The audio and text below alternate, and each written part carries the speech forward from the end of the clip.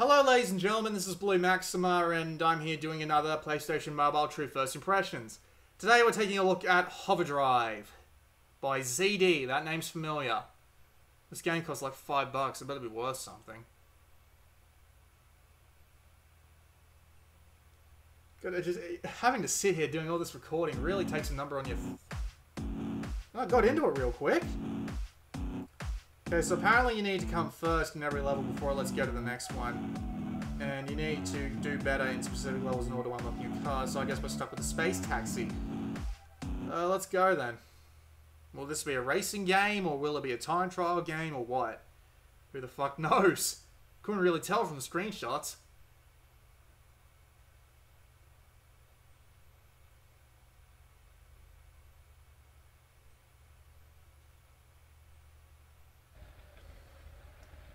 Those stretched textures, wow. Okay, uh, hold R to accelerate. This car handles like my ass. Seriously.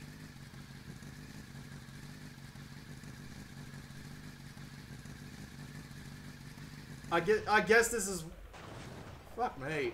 I guess this is why they want you to get like a silver medal in order to get new cars, so then you use them to get golds. Seriously, this car's turning is so slow, my grandmother could probably outrun it.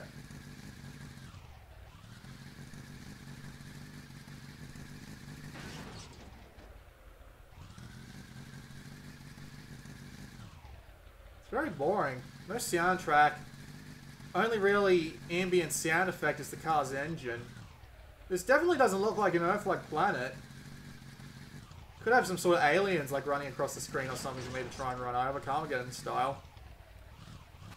Oh, good lord. Now, if you'll stop humping that rock, please.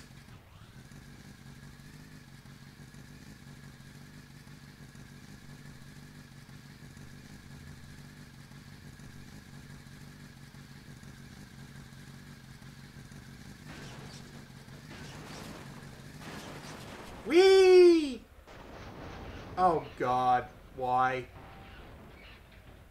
Great, I'm gonna have to restart. Oh, you can do it in first person mode. Let's do it in first person mode then. We have to at least get silver.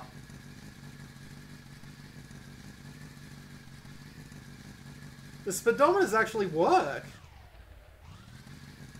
To a point. Oh god. No, rock. Fantastic. What an absolutely fabulous driving model. I feel like I'm playing Drive Club, but everything's half as bad. Oh, let me try that again. Twice as bad. Then again, you also have... God fucking damn it. You also have bad handling in the drive car. Drive... Cut... Cut... Cunt!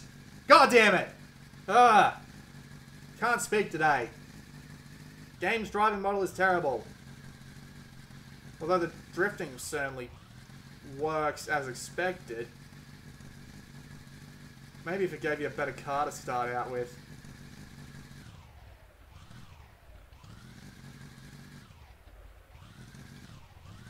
Oh, I guess it's all about learning the track, isn't it? Oh, not again.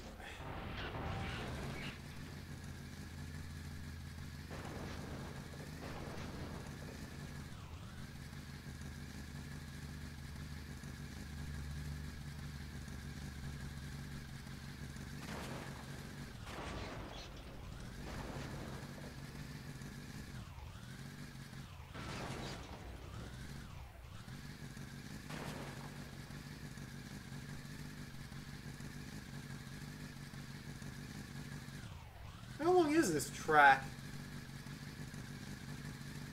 Could you even realistically do this in like 87 seconds?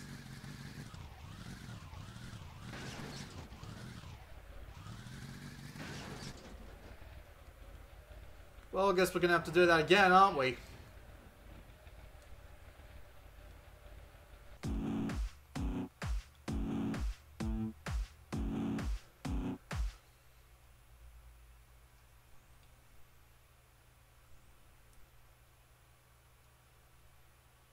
Seems like a concept begging for some weapons and some AI opponents.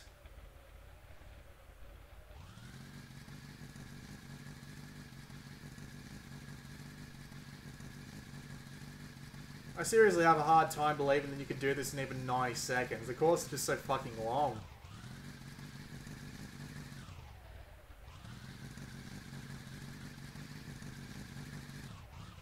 Must use concentration. Must not ream into any tiny ass rock formations.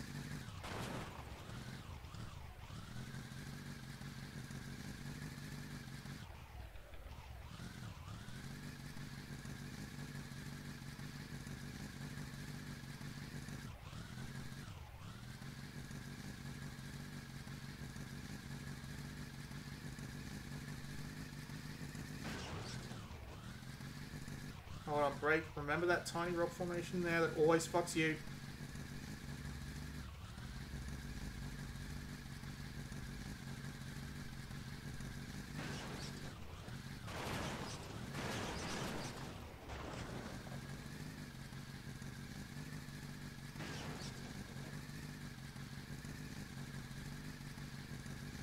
Yeah, I really don't think he'd be capable of doing this in 85 seconds with the taxi, so I imagine they're trying to force you to unlock the better cars to replay the level with.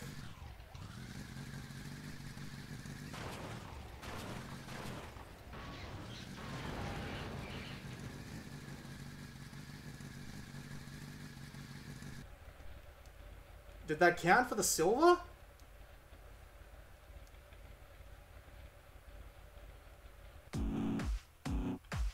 Thank God it did, and we're driving around a redneck truck. Redneck truck. Great. Now we have to do the course again, but get an even better time in order to unlock the next course, which will be the same. Only sound being an engine, trying to learn the course so that the small rock formations don't absolutely fuck you over sort of thing.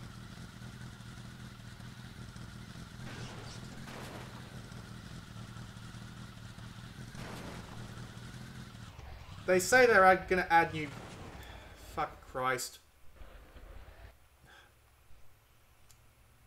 God, the weirdest games tend to remember your menu positioning.